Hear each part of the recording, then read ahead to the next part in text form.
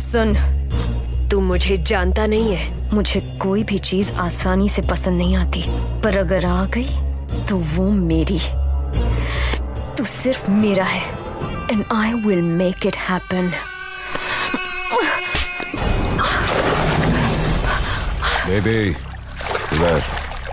तू मुझे जानती नहीं है